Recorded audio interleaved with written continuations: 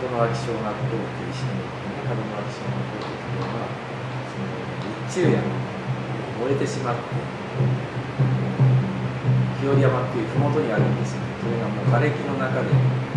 まあなんで火ついたのかなんだけど小学校時代本当は避難所だったんです。よそれが全部もう延々と日中山燃えてた。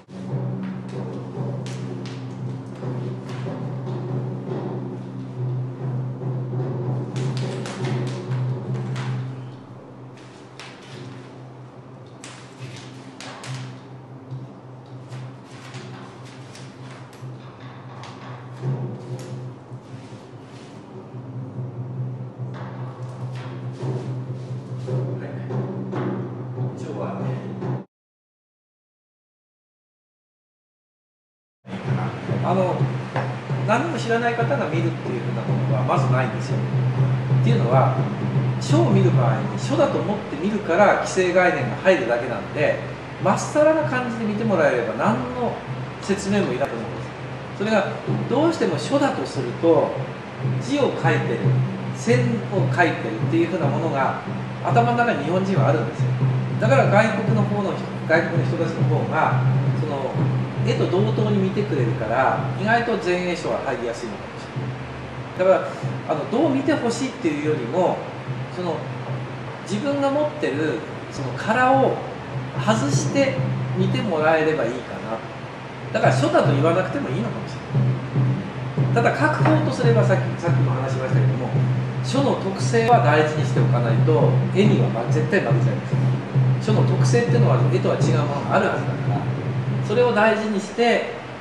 書くけども見てくれる人たちは書として見なくてその自分のその日本日本人？なんだよね。多分日本人は文字として見たいというふうなイメージがある書とするとね。それを取り外して見てもらえれば何の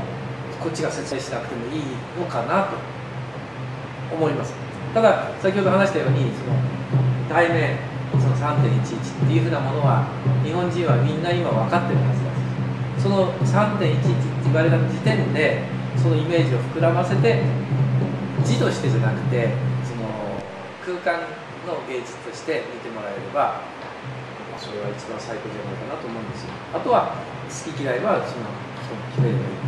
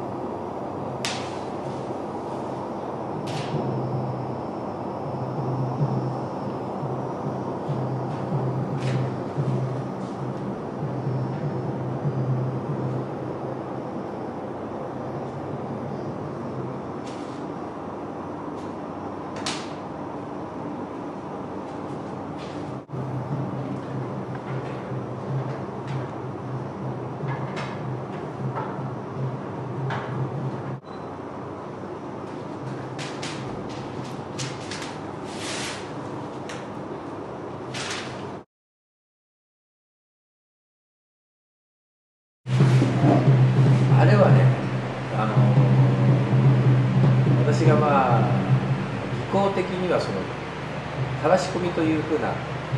感じでね思ってる垂らし込みまあ垂らし込みっていうのはあの水墨で初め水を引いた後に墨を流し入れるんですよ。そうするとその墨が水に反応してふわっと広がる。そういうふうなイメージがいいなと思って何回か試してる作品なんですけどね。その中で一応私得意私の得意とするその回転運動のものを一つそれはまあ太陽なりその希望なりというふうなものを一つそこに書いてからそれから周りをですね津波がワニが口を開けてそれを噛みついてくるようなそんなものを、まあ、イメージしながら作ってみたんですけどねそれでやはり流し込むっていう作業は水をこう全部張らなきゃないですからその張ってからどういうふうに変化するかはやっぱり出来上がってみないと。でこれが一番まあ何て言うんですかね。作品とすればその偶然性。その偶然性もその必然性にしていくっていうふうなものはやっぱ経験だと思うんですけどもそれを踏まえてですねその丸のその飛ばしのものを大きな津波が抱え込んでいくもう全部連れ去っていくようだから下からもう噛みついてくるようなそういうふうなものをイメージして書いたんですよ。まあ、あの先ほど北井さんがその途中でねちょっと話していただいたのはなんかあの押し寄せてくるその津波の上から俯瞰してみるような感じもありますねっていうふうなのは、まあ、私はそれを意識したわけじゃないけどもやはり名取なりその辺津波が教えてくる押し寄せてくる海から押し寄せてくる津波が瓦礫を巻き込んでくるのにも見えるかなというふうな気はちょっとはしてますね。まあこれも悲しいことなんだけどもまあイメージとしては強烈なイメージということ私の中には一つ表明して題名を何としようか今ちょっと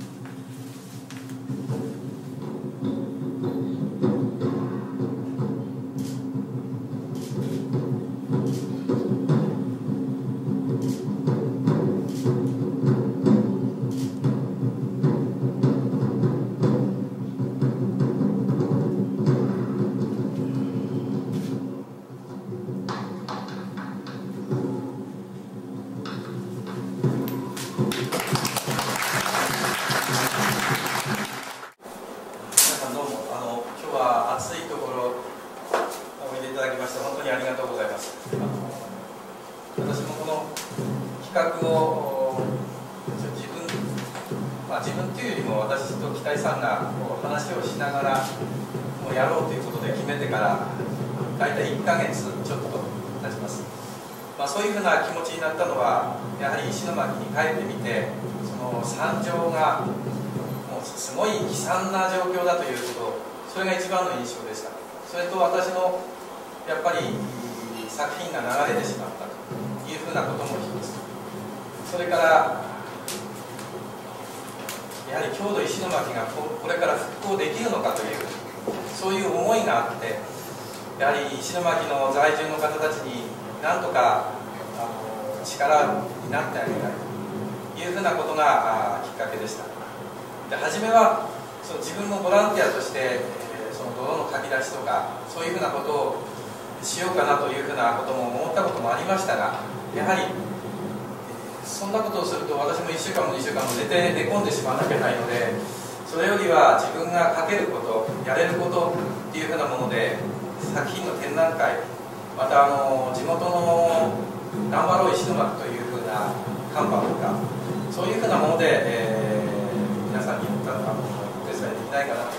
いうふうなことを思ったところに、まあ、北井さんの方からその画廊が画廊でやってみませんかという話も私も、まあ、そのつもりで、えー、やったんですから、まあ、こういうふうな企画ができたわけです。それで、まあ、東京の方で初めて展覧会を始めてなんで、まあ、どんな展覧会をやろうかやはり考えたんですけどもやはり一番はその津波のイメージそれからあと赤いものはあの門脇小学校という地元の小学校が真っ赤に燃えてお金を返してしまった。それから、まあ、私もの息子を亡くしてるんですけどもその親と子の絆みたいなそういう話をよく聞くんですもう石巻の方たちは津波で流される時に親が流されていってしまったとか子供がまだ見つからないとか私の上司であったあの菊池さんという人がその大川小学校っていうもうすごいニュースで有名になってしまったことですけども児童生徒もどんどん9割5分以上がもう亡くなってしまって先生の中では1人しか生きてこなかったというところに一人娘を学校の先生として初めて出した方もにきましていやうちの娘を使わないんだというかと聞いた時にやはり親との絆それから家族の絆っていうのもは本当に大切で、えー、かけがえのものないもの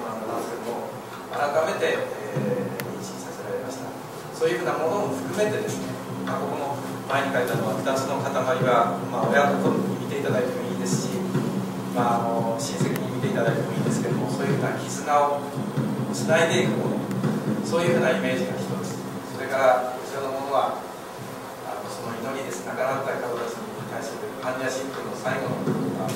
そういうふうなものを書いて、えー、展覧会をまとめたいなという他のものは一切書かないでもう震災のそのイメージですね。それをまあ、皆さんに見ていただいてそれで、まあ、チャリティーのなんかに協力していただいて一枚一枚偽装できればなというようなことで、えー、始めさせていただきました、まあ、今日はこんなに皆さんがいらっしゃっていただくとは思わなかったので、まあ、あの内心随分あのドキドキもなったんですけどなんとかあのうちうちの友達も弟子に手伝っていただきまして、まあ、あの終了することができました。今日はどうもありがとうございました。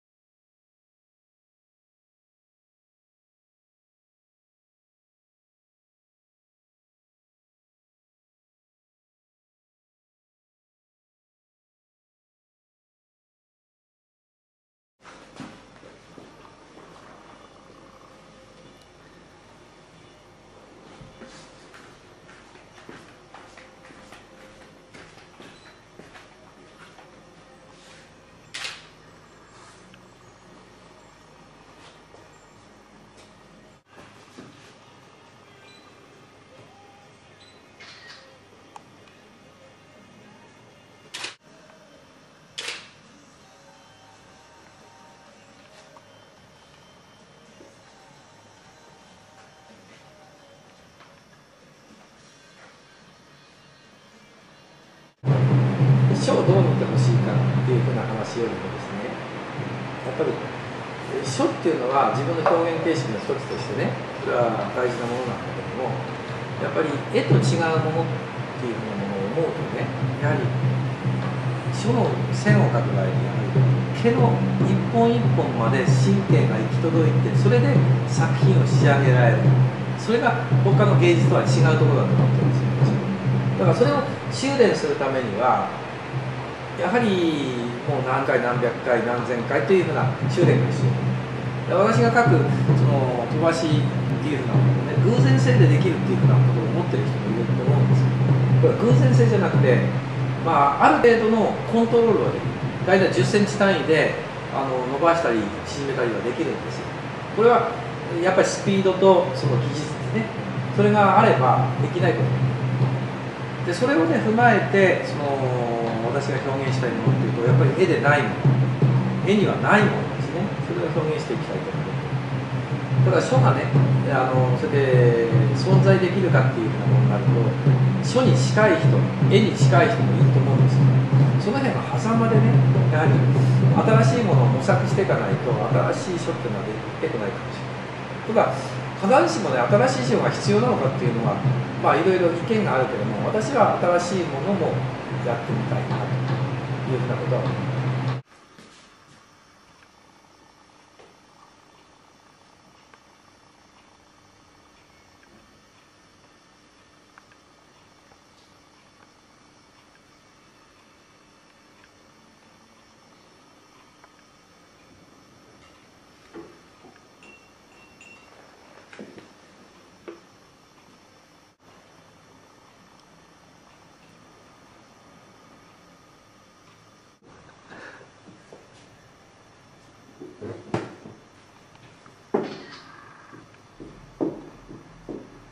よしね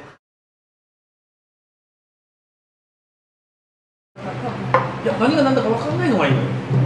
あの何が何だか分かってて書くっていうのはその人間